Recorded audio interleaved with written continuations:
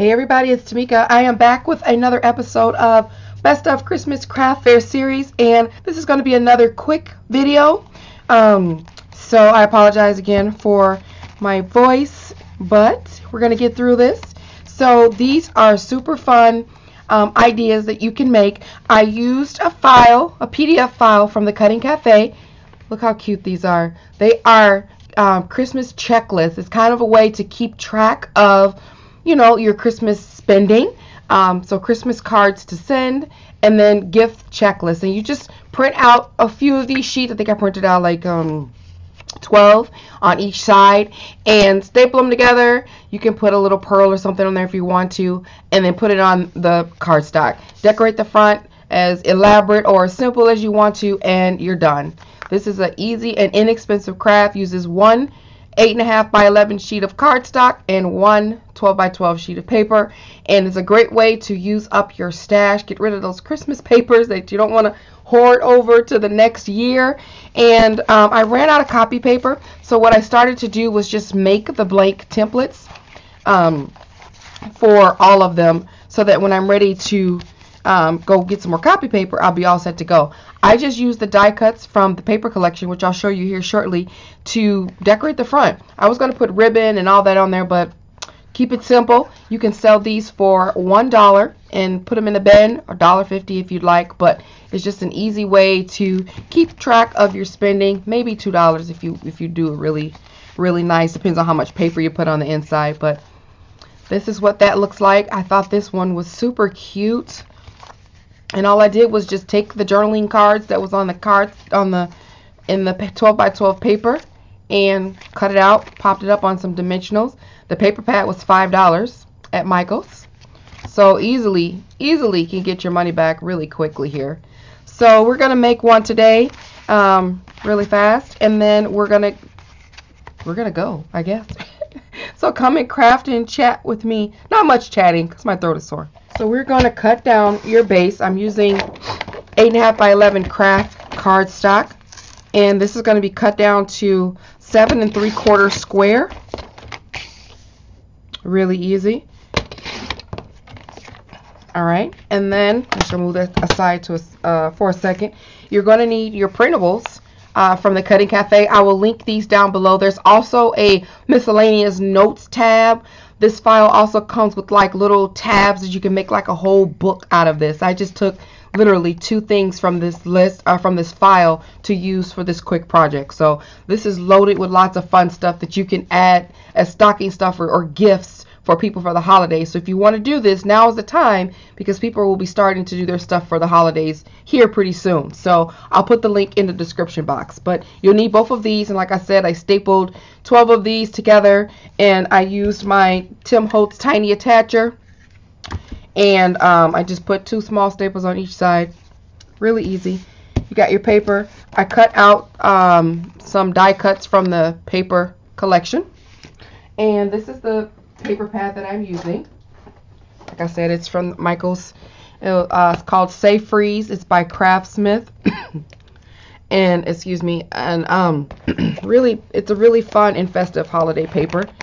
It's got some ugly sweaters. You can make a nice advent calendar out of this if you'd like. Really fun and vibrant um, holiday patterns. Lots of journaling tags in here. So if you were doing like the pillow box episode that I did, that would be great to take the tags off and put on there. So anyway, I just cut out all of that and used it as a topper. So I'm going to move the trimmer out for a quick second. I'm going to grab my scoreboard and then we're just going to score this at three and three quarters and four. I'm going to flip it over and give it a good score on both of those marks. okay. And then I'm going to bring my trimmer back out and just pull a piece. I should have did that while I was out here. And just pull out a piece of paper. I'm trying to see what paper I used already, which one I didn't so we can get some fun colors. Okay, and we're just going to cut this down to, So it's seven and three quarters is the is the mat of the paper, and you just want to cut that down an eighth of an inch smaller. Seven and five eighths. Just a sliver shorter than what you cut the previous papers. And then you're going to cut this one. It's three and three quarters minus an eighth of an inch. So three and one, two, three, four, five eighths as well. Three and five eighths, and then seven and five eighths. You can use wet glue. I bought out my, whoa, this is why I don't, this is why I, I have a love-hate relationship with this ATG gun. But I bought out an oldie but goodie. She was working fine up until now. But just grab whatever adhesive you're going to use and attach your paper on here evenly. It has a nice little border on here. Here we go. Come on now. And I just use one sheet. Now you can cut up your whole 12 by 12s or how many ever you think you're going to do. And then mix and match. Excuse me. And you can mix and match your whole paper collection. and just have different ones, you know, two different patterns on the outside, two on the inside if you'd like. Mix it up a little bit. But I just used one 12 by 12 and made the one work for each of the little planners. It was easier for me. Okay, this is the last one. I'm all I'm just all off camera, but just imagine me putting it on there. Okay, so that's that.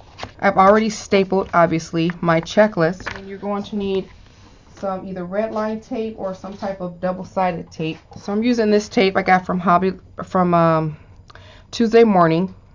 It's just red tape. It's a good adhesive, um, double-sided adhesive. And I'm just going to add it to the back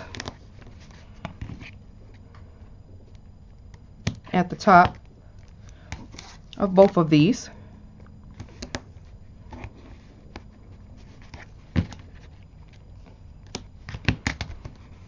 Okay. And then peel that off. And then put that there. Just kind of center it the best way you can. And this is just a basic book. You can make it's the files on there is so elaborate that I mean, these files on there are so plentiful that you can make an elaborate piece if you'd like. so then I'm going to take this journaling piece and then just add this chili to it. So this piece is going to be flat, flush against the, the little checklist here. And I cut it down from the paper pad. And then this piece is going to have pop dots on it.